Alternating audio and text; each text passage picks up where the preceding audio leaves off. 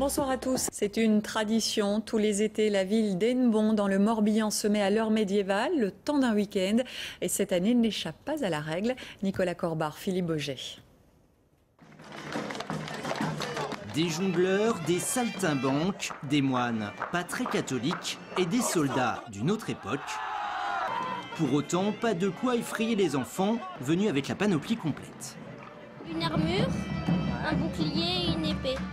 Qu'est-ce que tu aimes bien dans, dans les médiévales Bah, les gens qui tournent les quilles en les faisant sauter quand ils marchent. Oh, regarde, Depuis 17 ans, les médiévales d'Ennebon, c'est le rendez-vous incontournable de l'été dans le Morbihan.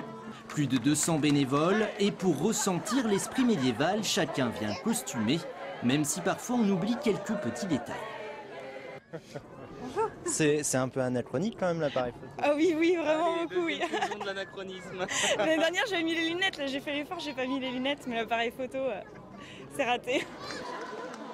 Hennebon, ville médiévale avec ses fortifications datant du XIIIe siècle. Et pour remonter le temps, en un week-end, certains ont pu s'initier au tir à l'arbalète ou encore, par exemple, faire du shopping médiéval.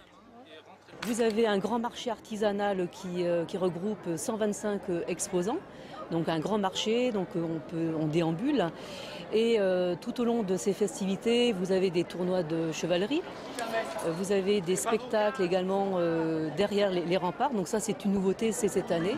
Les médiévales à Hennebon, c'est jusqu'à ce soir. Et rendez-vous l'année prochaine.